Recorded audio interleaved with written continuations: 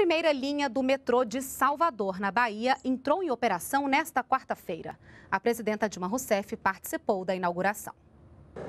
O metrô de Salvador foi construído com dinheiro da iniciativa privada e também com recursos públicos do governo do estado, da prefeitura e do Programa de Aceleração do Crescimento do governo federal. As obras também receberam financiamento de bancos públicos. Nós temos investimentos do governo federal apoiando, seja através de recursos a fundo perdido ou financiamentos diretos do BNDES ou da Caixa Econômica Federal valores que chegam a 5 bilhões e 940 milhões de reais. Esta é a primeira linha de metrô de Salvador. O trecho que começa a operar agora tem pouco mais de 7 quilômetros. O projeto prevê a construção de duas linhas que devem estar prontas em três anos, quando a malha metroviária da capital baiana deve chegar a 33 quilômetros.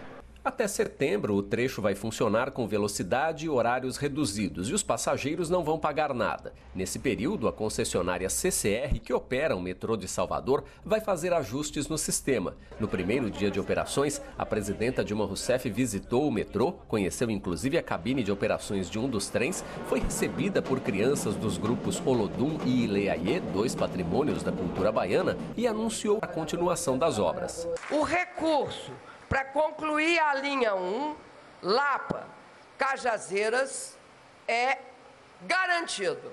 E eu sei que é também da parte do governo do estado. Essa linha 1, ela é hoje uma realidade. Ela tinha um tamanho e nós estamos aumentando bastante, significativamente, porque nós iremos até Cajazeiras. Temos também o metrô linha 2, nós estamos prevendo também, dentro dos, no, dos nossos cálculos, nós estamos prevendo a construção do metrô que sai de Bonocô e vai até Lauro de Freitas Aeroporto.